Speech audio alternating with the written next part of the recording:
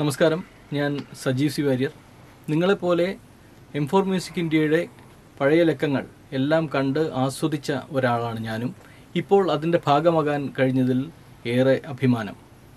ശ്രീ അനിൽ കളിമാനൂർ സാറാണ് ഈ ഗാനത്തിന്റെ പുതിയതായി പുറത്തിറങ്ങുന്ന ഗാനത്തിന്റെ ഈണമിട്ടിരിക്കുന്നത്. ഓർക്കസ്ട്രേഷനും അദ്ദേഹം തന്നെയാണ്. ഞാനാണ് അതിന്റെ വരികൾ എഴുതിയിരിക്കുന്നത്. ഗ്രാമീണ പശ്ചാത്തലത്തിലുള്ള പ്രണയമാണ് ഈ ഗാനത്തിന്റെ വിഷയം.